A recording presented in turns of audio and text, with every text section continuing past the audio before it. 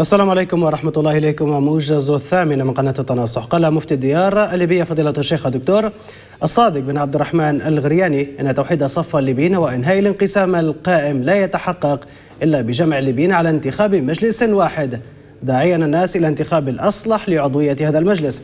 مفتي الديار وفي برنامج الإسلام والحياة لقناة التنصح أضاف أن الوقوف أمام صندوق الاقتراع مسؤولية عظيمة وداعيا الراغبين في ترشيح أنفسهم لاستشعار المسؤولية في إقامة الدين ونصرة الحق.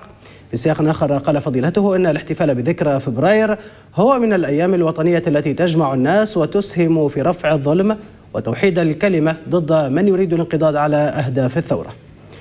قال المبعوث الأممي لدى ليبيا غسان سلامة في مؤتمر له الأربعاء إن هناك شروطا عديدة ينبغي توفرها لإجراء عملية الانتخابات في ليبيا ولم يتحقق منها إلا شرط واحد وهو شرط تسجيل الناخبين وهذا هو الأول وليس الأخير.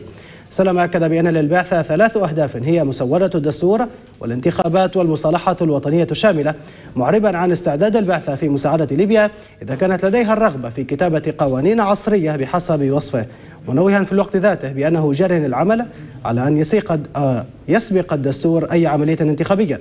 وأضاف سلامة بأن هناك أسلحة جديدة ما زالت تهرب إلى ليبيا بسبب ضعف الرقابة الأمنية على الحدود.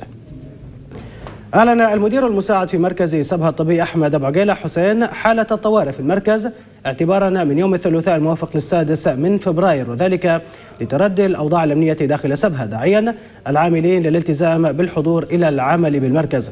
يذكر أن مدينة سبها قد شهدت في الآونة الأخيرة اشتباكات دامية بين قبيلتي ولاد سليمان والتبو سقط إجراءها عدد من القتلى والجرحى.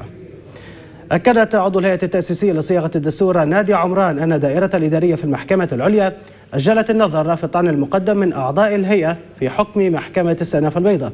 عمران في تصريح لها الأربعاء أوضحت بأن الدائرة الإدارية في المحكمة العليا أجلت النظر في الطعن إلى الرابع عشر من فبراير الجاري بناء على طلب إدارة قضايا الدولة. ختاما إلى اللقاء.